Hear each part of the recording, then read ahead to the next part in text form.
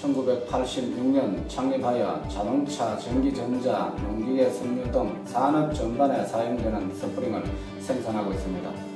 특히 자동차 부품 스프링과 전자 부품 스프링을 생산하는 데 주력을 하고 있습니다.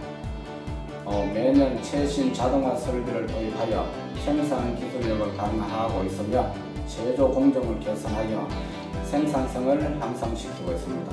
또한 기술 개발을 통한 발전 전략을 자동차 미션 로드 스프링 개발, 신소재를 적용한 스프링 개발, 스프링 관련 특허 획득에 집중하고 있습니다.